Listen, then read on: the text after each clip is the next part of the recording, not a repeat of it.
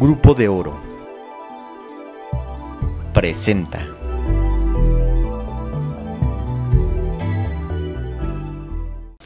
Es tener una sensibilidad eh, del tema de cómo poder detonar el mercado automotor en el país. Yo creo que hay mucha eh, potencialidad de que esto pueda suceder. Eh, hemos terminado una serie de estudios, de análisis, pero los cuales los queremos corroborar en los diferentes lugares.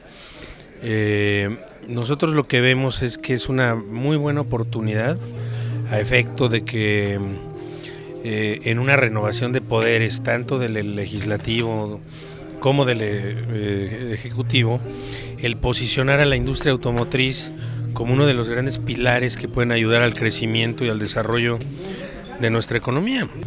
Pues es una industria que contribuye casi con el 4% del Producto Interno Bruto, como con el 20% del eh, PIB manufacturero.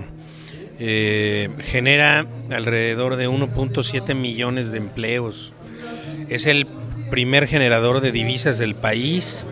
El año pasado con 33 mil millones de dólares, más que el turismo, más que el petróleo, más que las remesas. Creo que en el caso de Michoacán también es muy relevante el tema de que se mantenga el subsidio a la tenencia, porque aún cuando el mercado nacional va creciendo al 11%, Michoacán lo está haciendo al 7.7%, entonces estaría mucho más detenido.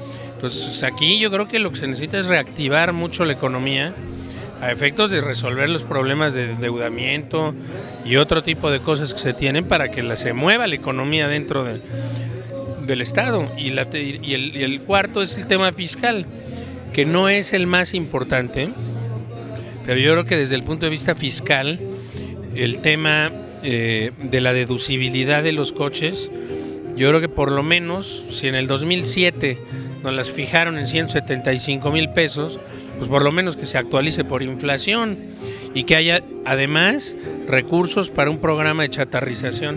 O sea, son cinco o seis puntos que creemos que debemos de meter y que pueden hacer una gran diferencia para realmente promover el mercado interno. Eso es el tema más importante.